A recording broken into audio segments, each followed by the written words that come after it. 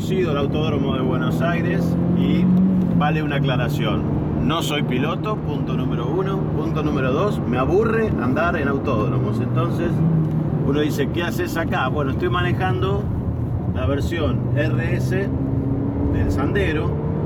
Lo habíamos hecho en Brasil y ahora en Argentina.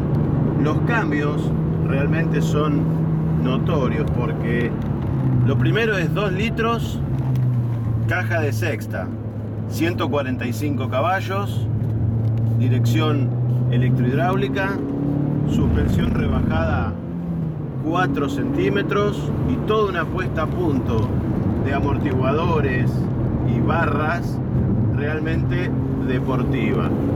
Y hacen que uno disfrute. Acá, por ejemplo, estoy en modo sport, entonces yo lo puedo pisar y me corrige. Ahí yo me hubiese ido a formar parte del paisaje. Lo que evitó eso es el ESP, que en modo sport sigue activo. Los frenos son los mismos del Fluence GT primera serie. Todo una puesta a punto para que realmente uno disfrute de un manejo deportivo en un escenario acorde como es un autódromo. ¿Qué pasa cuando este auto sale a la calle?